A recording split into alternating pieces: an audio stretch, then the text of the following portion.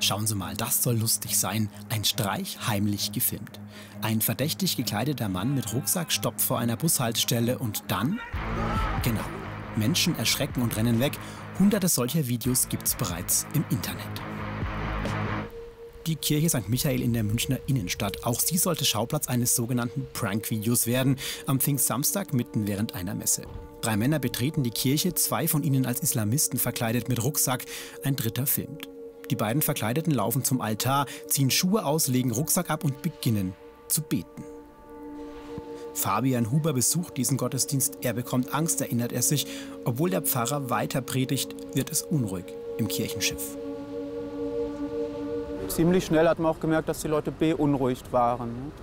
Und ähm, es waren auch Familien da mit Kindern, ältere Leute, ähm, die dann auch Angst gehabt haben. Ne? Das hat man gesehen. Ne? Und ähm, sonst wäre man nicht so schnurstracks auch ähm, rausgegangen. Ne? Und man muss ja auch froh sein, dass der Pater so ruhig geblieben ist.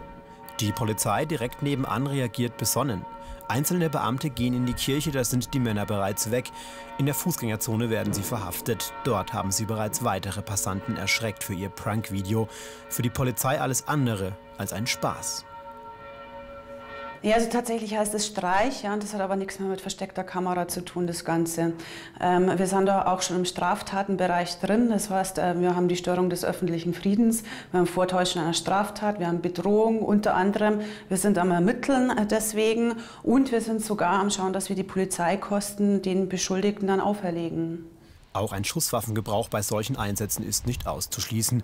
Diesmal aber geht alles gut, auch dank Pater Peter Balleis. Er hält die heilige Messe. Als die Männer direkt vor ihm mit ihrer Show beginnen, bleibt er ruhig und predigt weiter. Angst dürfe nicht mit Religion verbunden werden, sagt er. Der Streich eine große Dummheit. Anzeige will er nicht erstatten. Ich habe der Polizei gesagt, die sollen mal vorbeikommen, sollen sich entschuldigen, denn sie haben meine Predigt gestört und die Leute.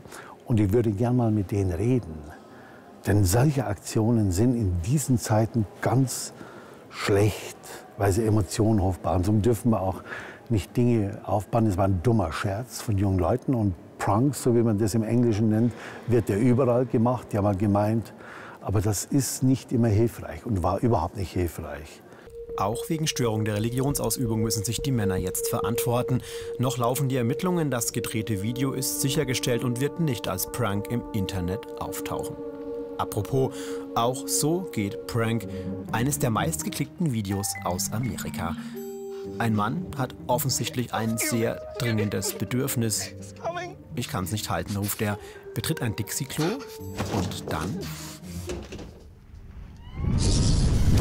Tja, auch darüber kann man diskutieren, aber wenigstens macht das keinem Angst. Oh mein Gott.